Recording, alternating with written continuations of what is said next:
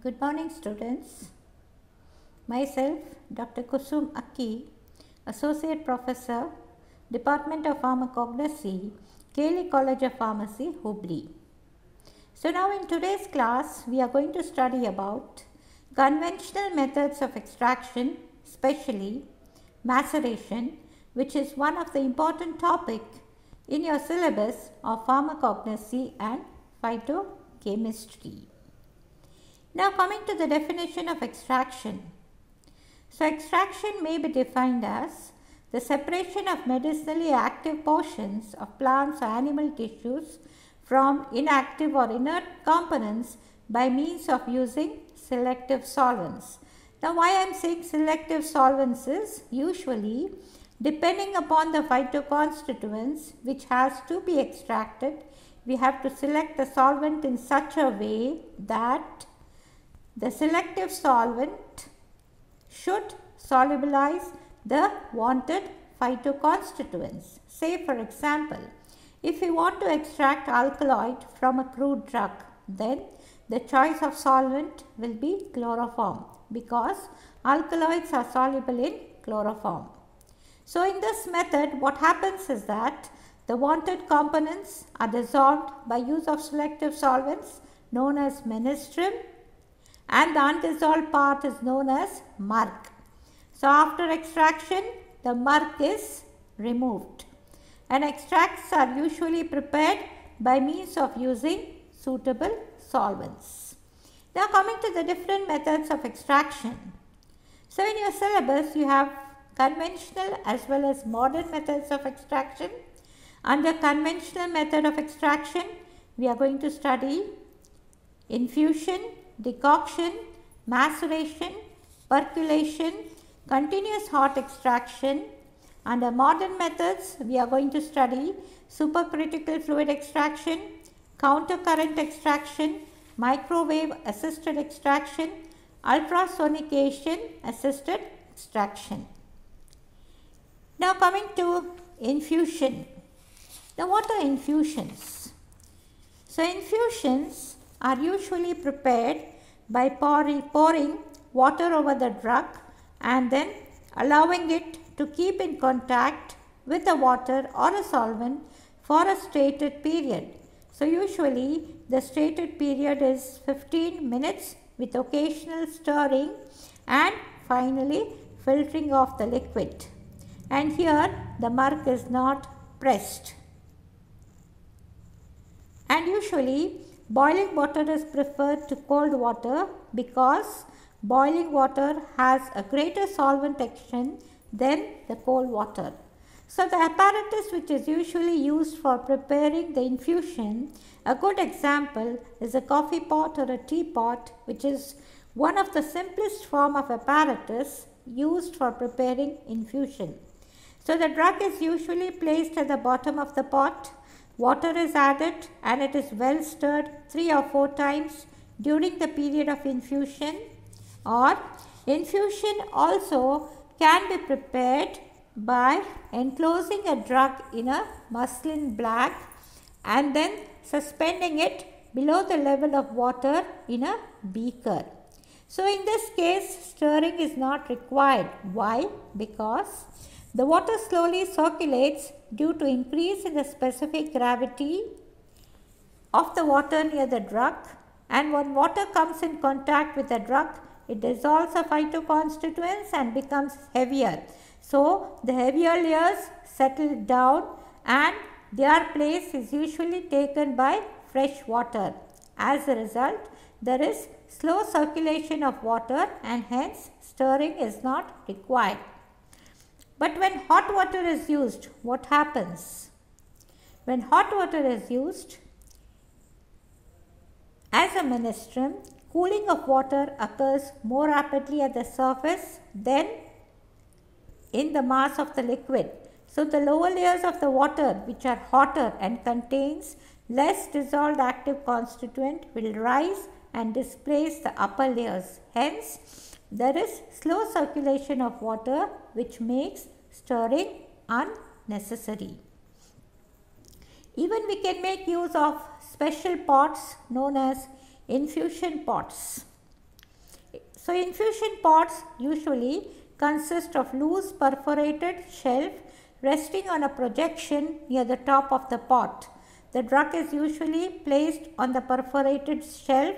The pot is filled with water and the perforated shelf is adjusted below the surface of water. So examples of infusion are infusion of orange, concentrated infusion of quassia. So next we'll come to decoction. So in decoction what we do is that the drug is usually boiled with water for a stated period say usually 10 minutes. After boiling the liquid is strained and water is passed through the content of the container to make the required volume. So this process is usually chosen for vegetable drugs of hard and woody nature and for those phytoconstituents which are usually thermostable and thermostable water soluble constituents. So example of decoct by examples by using decoction process they are tea or coffee. Now we will go to the next process of extraction that is maceration. So in maceration process what is done is that the crude drug is usually placed in a stopped container with the whole of the menstruum and then it is allowed to stand for a period of at least 3 days extending up to 7 days with occasional stirring. The mixture is strained the murk is pressed and the combined liquids filtered to make a clear liquid. Now there are three maceration processes. Which are they? They are first is a simple maceration or it is a process for tinctures which is usually made from organized drugs such as roots, stem or leaves.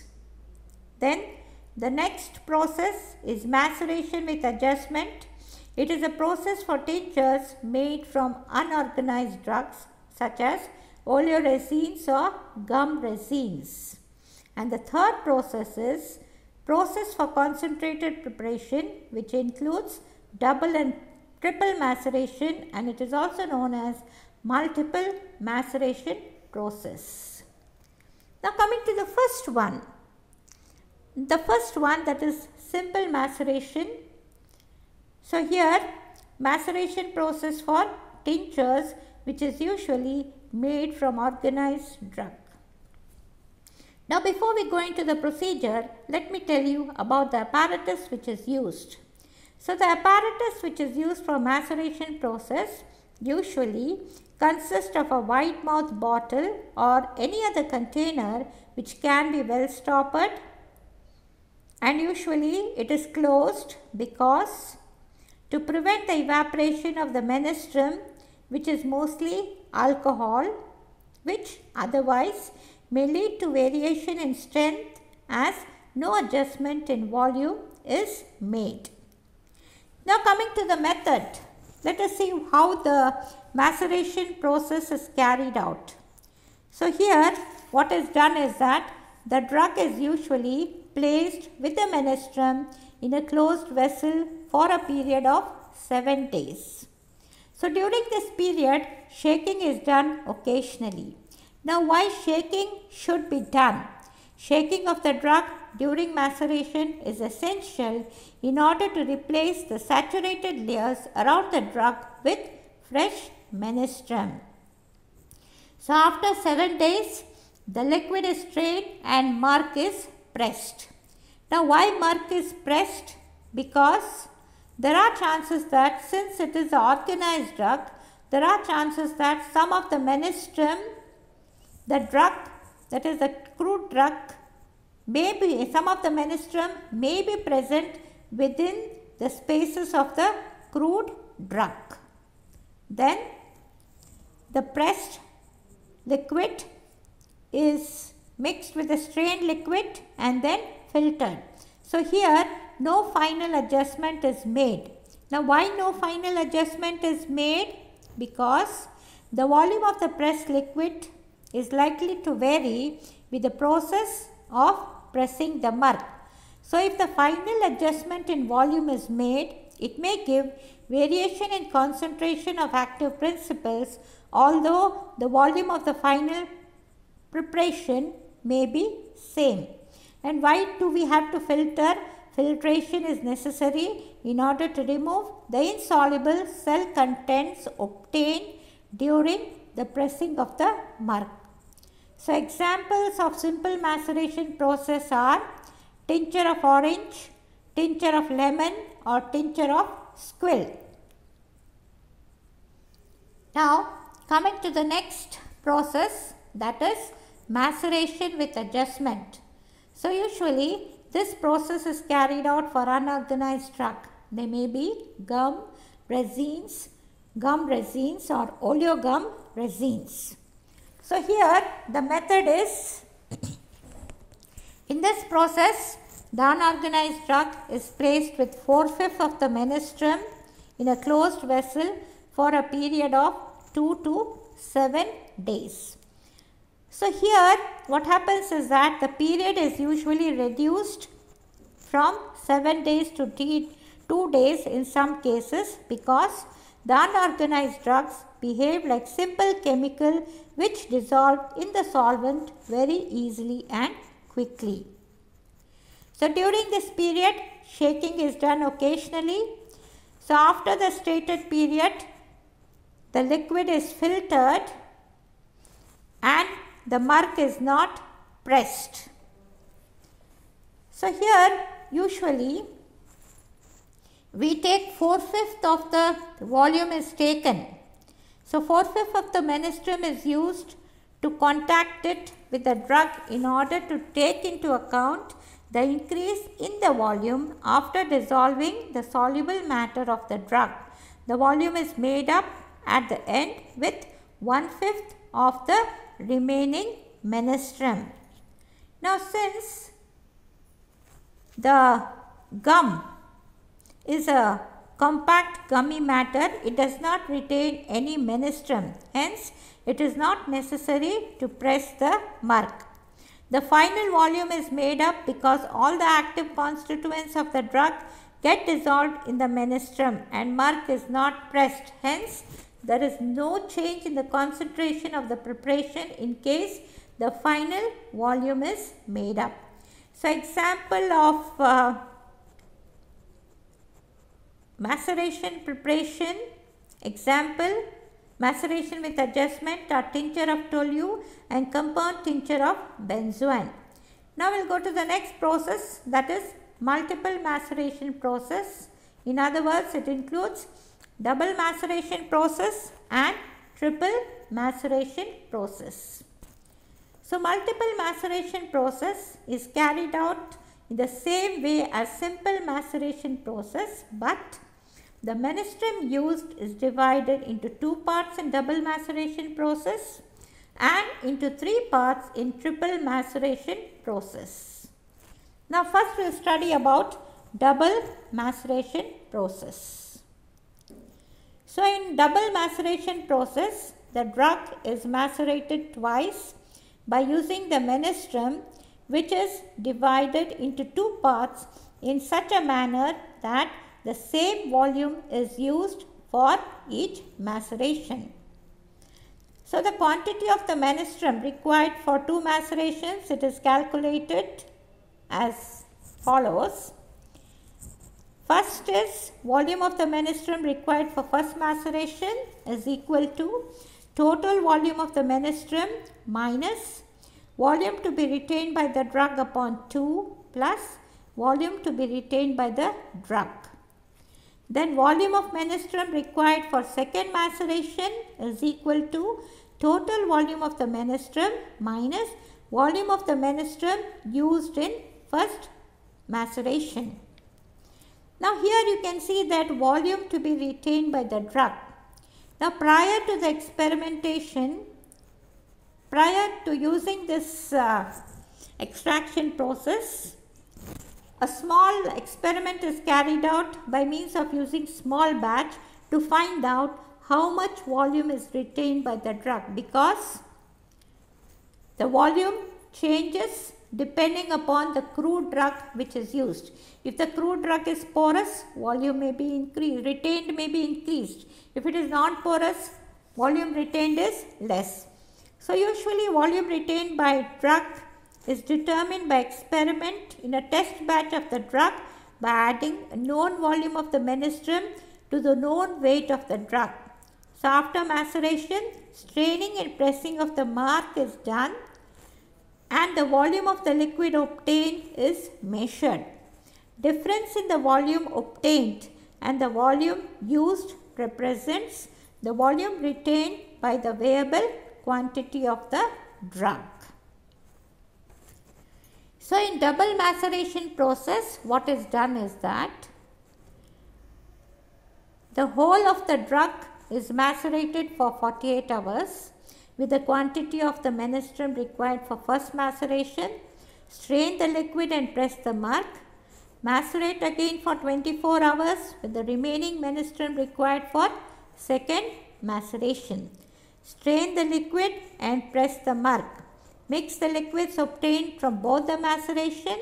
Allow it to stand for 14 days and then you have to filter. So examples of drugs prepared by means of using this multiple double maceration process is concentrated infusion of orange, concentrated compound infusion of chirata, concentrated compound infusion of gentian. So now we'll come to the last one that is triple maceration process. So in this maceration process, the drug is macerated thrice by using the menstruum which is divided into three parts in such a manner that the same volume is used for each maceration.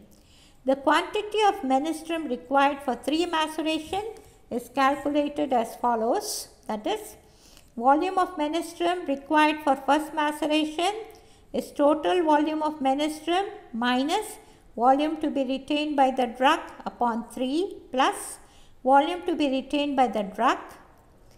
And second volume of menstruum required for second and third maceration is equal to total volume of menstruum minus volume of menstruum used in first maceration upon 2.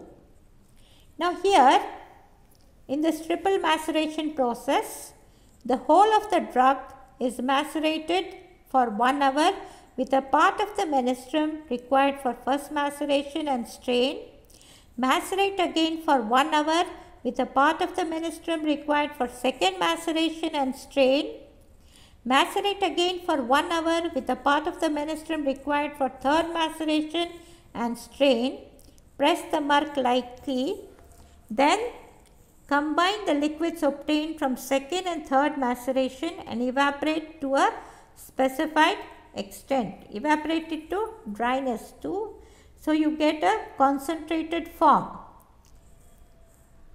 And mix it with the liquid obtained from first maceration. Then you have to add alcohol, 90% alcohol equal to 1 4th volume of the finished product. Adjust the volume with water, allow it to stand for 14 days and filter. So examples of drugs using this triple maceration process are concentrated infusion of quassia and liquid extract of senna. So this is all about the conventional method of extraction. So in the next class, we'll study about the percolation process. Thank you.